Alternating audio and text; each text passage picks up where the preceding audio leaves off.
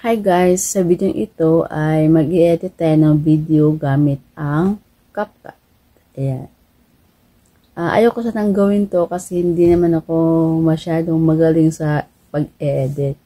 Pero kasi, uh, nirequest ito ng aking friend. Shout out nga pala sa'yo, Sis Eileen National. Ito na yung request mo.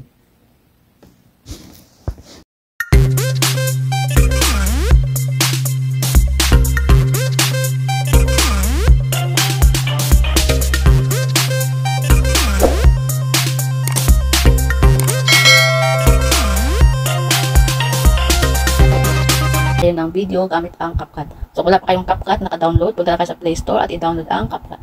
So, since meron na akong Cap CapCut, i-open ko na lang siya. Click natin yan. Then, i-click natin yung new project para maka-add tayo ng video. So, dito may minute ng video na pwede natin i-edit.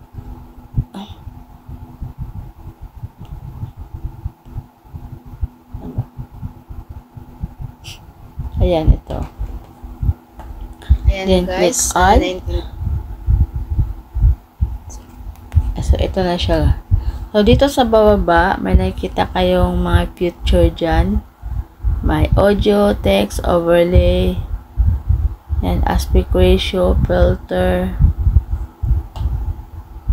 sticker, background.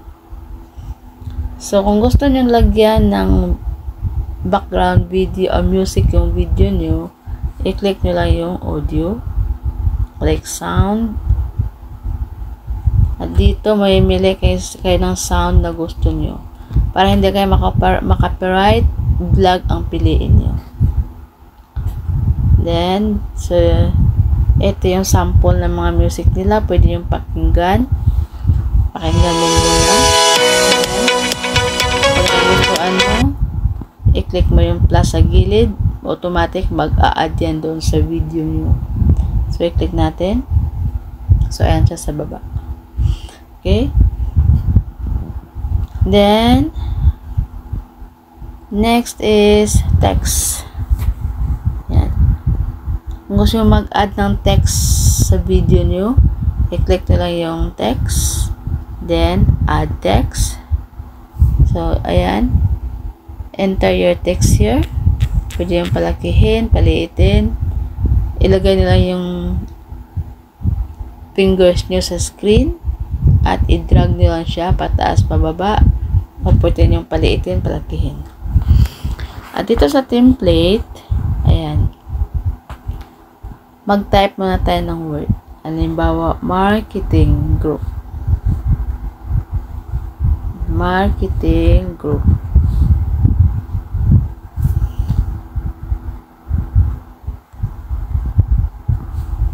Marketing group. Then,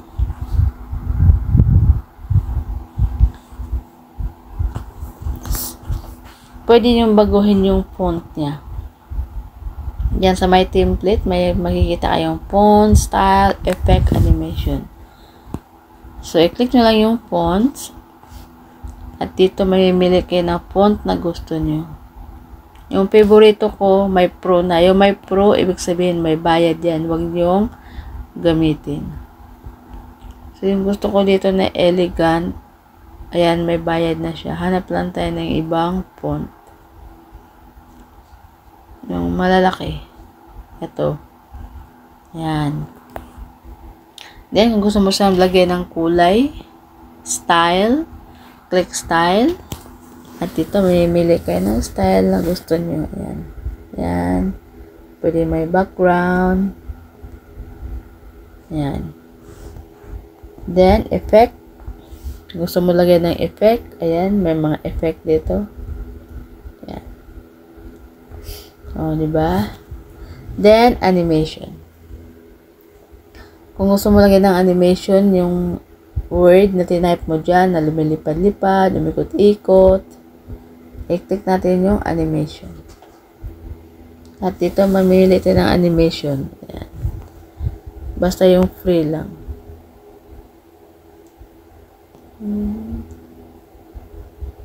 Ayan. Ayan, diba? Okay, okay na yan.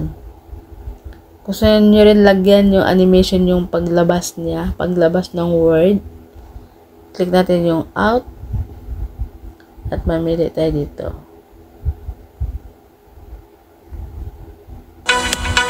Oh, di ba? Then, pag okay na yan, may font ka na, may style ka na, may effect ka na, may animation ka na, i-click na natin yung check sa gilid. Then, ngayon, i-play natin.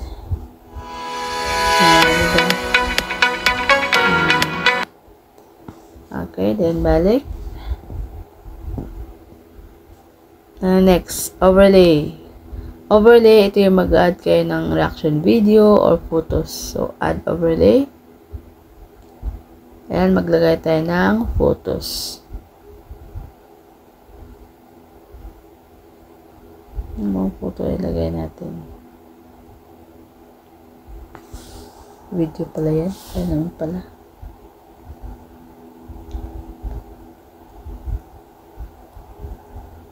Hanap tayo ng photos. Dami ko ng photos dito.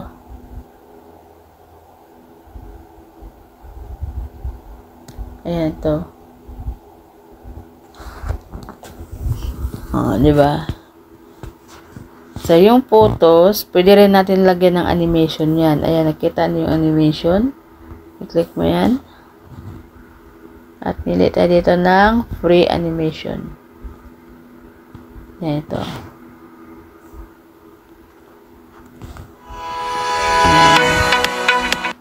Ah, di ba? Ang pangit ng animation nila kaya di ako gumagamit ng animation dito. Um, animation ng picture. No, di ba? Kaya pag okay na yan, i-click na yung check sa gilid. Then next is effect. Body video effect, body effect, photo effect. Ah, dito tayo sa video effect. Ito effect yung video.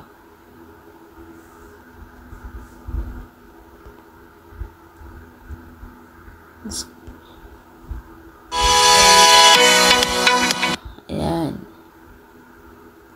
Tatakpan naman yung mukha ko dito.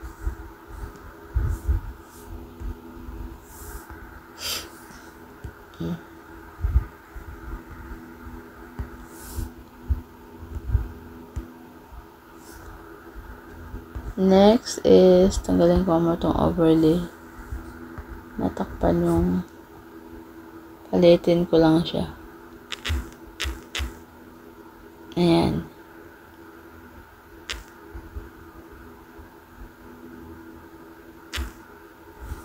Ayan. Then, ayusin ko lang yung, ano, yan sa baba.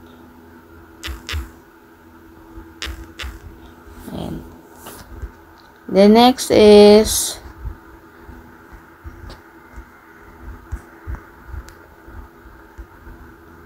effect uh, caption. Guys, sad to say yung caption ngayon is may bayad na. Kaya wag na nating anuhin yan. May bayad na yan eh. May pro, uh, pro na siya. Dati kasi hindi yan pro. Ginagamit ko yan sa caption ko. Pro ngayon hindi na pwede. So, diretso na tayo sa aspect ratio. Yung aspect ratio, ito yung size ng video mo na gusto mong gawin. Kung ang video mo ay parang pang TikTok, ang piliin mo is 9 by 16. Kung ang video mo ay pang YouTube, ang piliin mo is 16 by 9. Pero kung pang Facebook lang siya, pang Reels, ito na yung original size na piliin mo. Okay?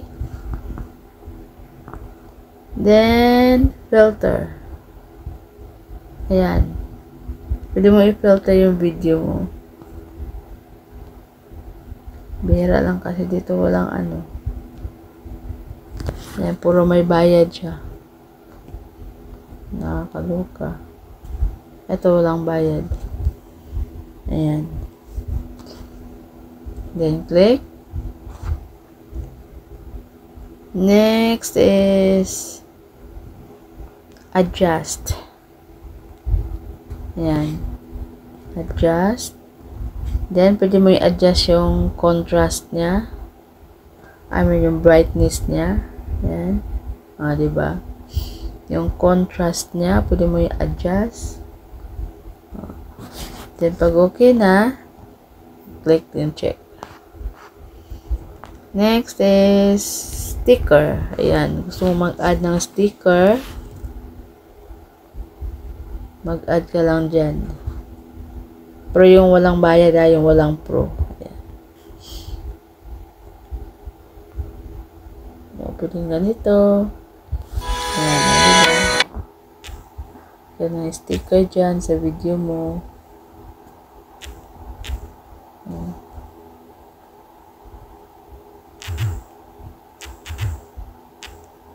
O, oh, diba?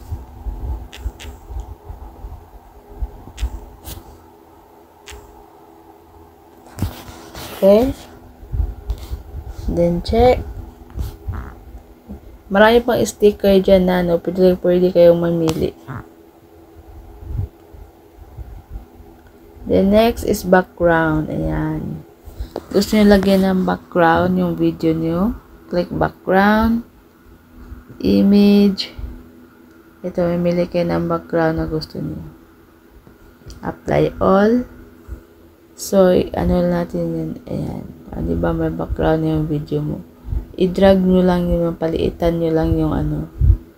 Para may, may background yung video nyo na may kita.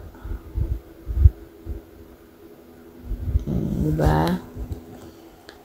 Okay, I think sa ngayon, ito lang muna, pinaka-basic na mga feature na pwedeng gamitin sa paggawa ng video. By the way guys, dito sa taas may tatlong, may dalawang button. Undo at saka redo.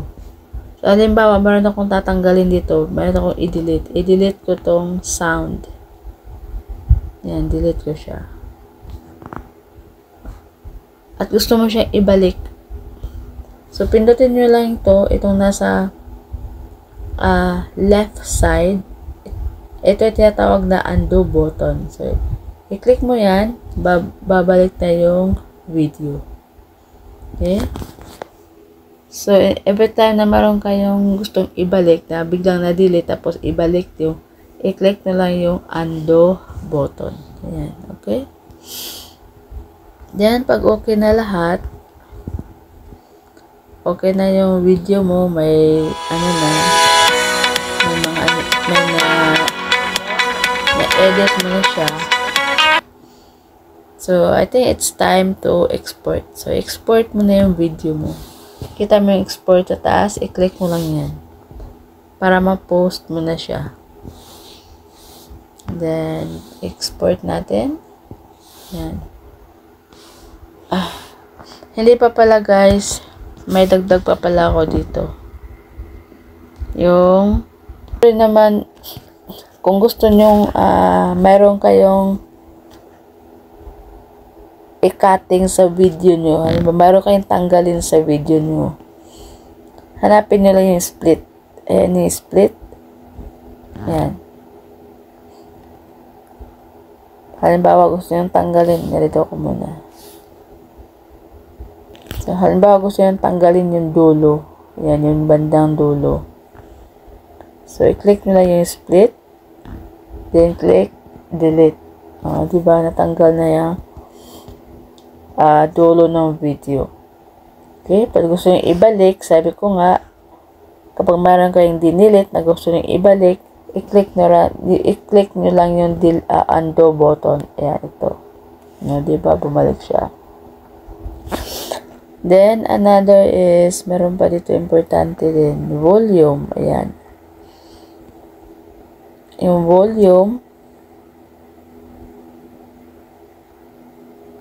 Ayan, kung gusto nyo lakasan yung boses nyo, al, gusto mong lakasan yung boses ng video mo, click mo lang yung volume at gawin mo lang siyang 100.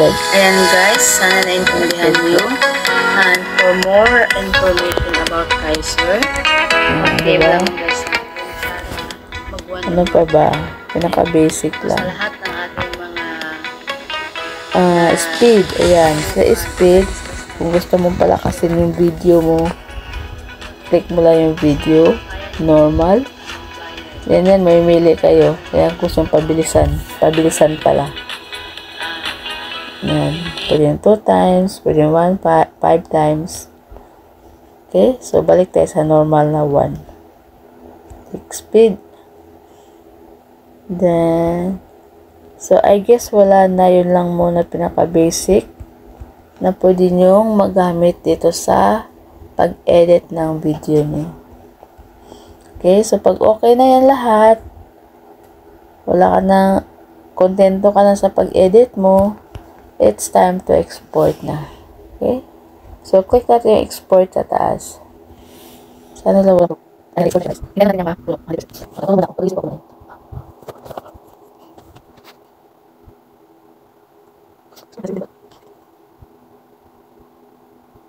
ako. Pag-isip ako muna. Export guys. Export na.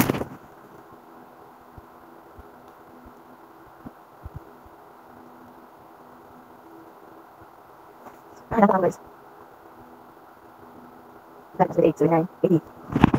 94, 7, 8, 9, 100.